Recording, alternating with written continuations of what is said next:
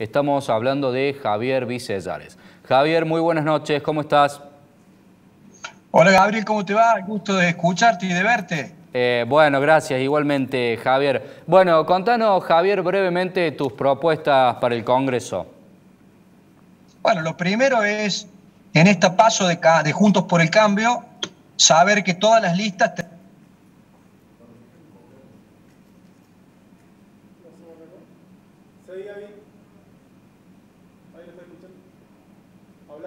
Eh, perdón, Javier, eh, vamos a repetir esta última parte, no, no se te escuchó bien, eh, decinos. Te decía que, que, la, PASO, la PASO tiene la particularidad de que en Juntos por el Cambio competimos varias listas, pero todas las listas eh, tributamos a un mismo resultado que es con el que se va a conformar la lista definitiva de noviembre. Yo lo recalco porque me parece una muy buena oportunidad para ver qué candidatos le interesa al, al ciudadano de Córdoba que lo defienda en el Congreso. Y ahí nosotros, y ahí va tu pregunta, hemos marcado una diferencia, Gabriel. ¿Cuáles serían? Yo a Juez y Negro no le escucho una sola propuesta. Y, nosotros la verdad que hemos hablado de presión impositiva en el campo, hemos hablado de seguridad, hemos hablado de, del cumplimiento de mandatos, que parece increíble, pero lo hemos planteado por ley. Hemos hablado de, de un paquete de leyes anticorrupción. Eh, la verdad que ha sido, ha sido bastante amplio lo que hemos podido, lo que hemos podido mostrar de que queremos hacer. Eh, recorriendo el sur de Córdoba, el tema presión impositiva sobre el campo es terrible, con lo cual hay que eliminar claramente los derechos de exportación. Tenés que avanzar en eso, a ver si el campo puede, puede tributar, pero fundamentalmente puede crecer en función a lo que, a lo que produce. En el tema de seguridad, yo he planteado públicamente un debate que ya instalé hace dos años en Córdoba, que tiene que ver con el uso de las pistolas Taser, para que las fuerzas nacionales por ley las puedan usar.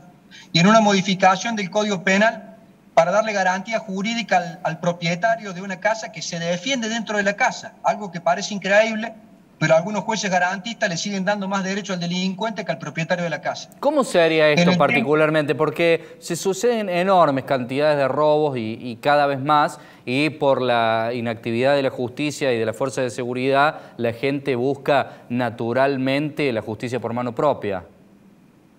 Mira, yo, yo no hago una apología de la justicia por mano propia, pero sí me interesa que el dueño de casa que se defienda no tenga que peregrinar por tribunales. El Código Penal te dice que la legítima defensa dentro del hogar no es punible siempre y cuando haya resistencia por parte de quien ingresa, que es un delincuente, ¿no? Y yo lo que hago es definir el término resistencia y digo que va a haber resistencia siempre que el delincuente que es visto, no se emprende a la fuga. Vamos al ejemplo concreto, Gabriel. Estás durmiendo en tu cama, te despertas en la punta de la cama un delincuente. El delincuente mirándote. Si ese delincuente, cuando vos lo descubrís, no se da la fuga, para mí ya está en condición de, estar en el, formato de resistencia y vos te podés defender. Eso yo lo he planteado como un proyecto de ley. Bien. ¿Cómo me podría defender, Javier? Es interesante esto que estás diciendo. No, bueno, a ver, eh, obviamente el, mecanismo de defensa pasa por cada, por cada dueño de casa. Podés defenderte abalanzándote sobre el delincuente, podés defenderte con algún tipo de, arma. Digo, yo no lo, no lo analizo desde ese punto de vista. Yo lo que planteo es, en el caso de la legítima defensa, dentro del hogar, que muchas veces lo que se discute es la proporcionalidad del medio que se utiliza para defenderse legítimamente, que quede claro en qué condiciones vos te podés defender legítimamente. Eso en el Código Penal queda un gris que muchos jueces garantistas lo utilizan para de alguna manera hacer, como digo yo, peregrinar por tribunales al pobre hombre de laburo que se defendió del delincuente.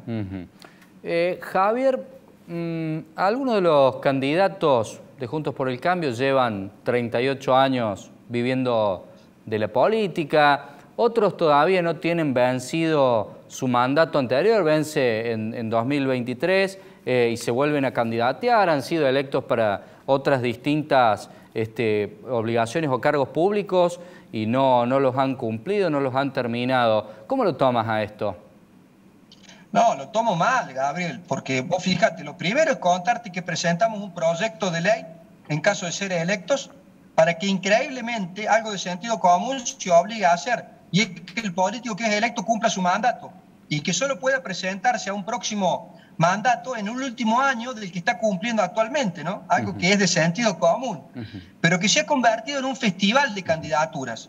No solamente en Juntos por el Cambio, Gabriel, sino que en muchísimos de los partidos políticos que hoy compiten en Córdoba. Javier, ese, proyecto que, del cual hablas, eh, ¿tiene algún apartado, algún artículo sobre estar de campaña y seguir cobrando el sueldo del cargo anterior? ¿Lo mismo que todos los asesores?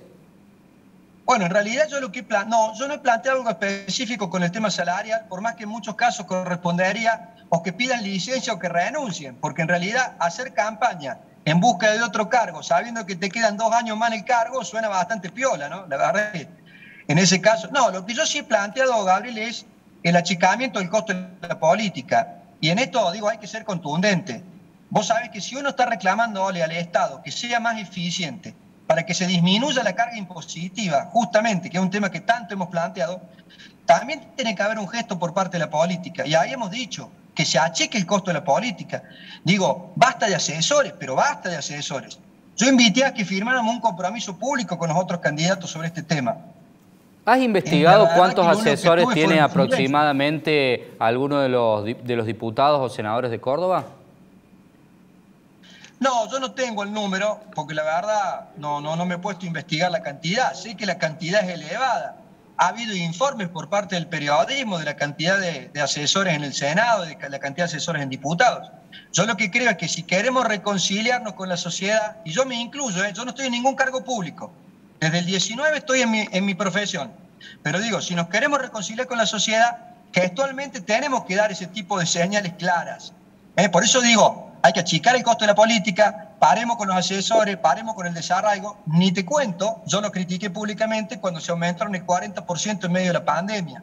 Digo, son cosas que indudablemente a la sociedad la alejan cada vez más. Y yo la verdad que estoy dispuesto y tengo la convicción de que, de que son temas que hay que cambiar. En Juntos por el Cambio no tengo un debate sobre esos temas, te tengo que ser sincero, pero me parece que hay que darlo y hay que decirlo públicamente. Eh, Javier, nos quedan 30 segundos, comentanos o comentarle a la gente por qué debiera de elegir tu boleta y no la de Negri o la de juez.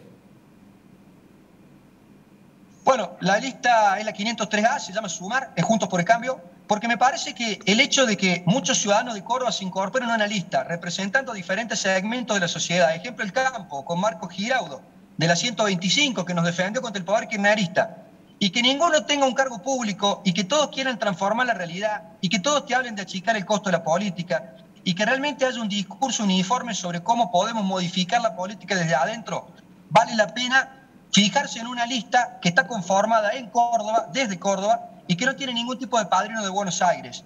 Y en eso también creo que hay un plus. Y, vuelvo a repetirte, cuando vos hablas de Laura Sesma, sabes que ha peleado contra la corrupción. Cuando vos hablas de Marcos Giraudo, sabes que defendió el campo. Entonces, me parece que vale la pena detenerse en una lista de gente, de hombres y mujeres de Córdoba, que tienen un concepto diferente de la política y que le quieren dar lo mejor de, su vida al, proceso que viene para adelante en la Argentina, que es trascendente. Si queremos cambiar las historias de siempre, hay que meter gente en la política con cabeza diferente. Javier Vicesares, te agradecemos por haber formado parte de Meridiano 64, que sea con éxito lo suyo. Gracias, Gabriel, un gran abrazo.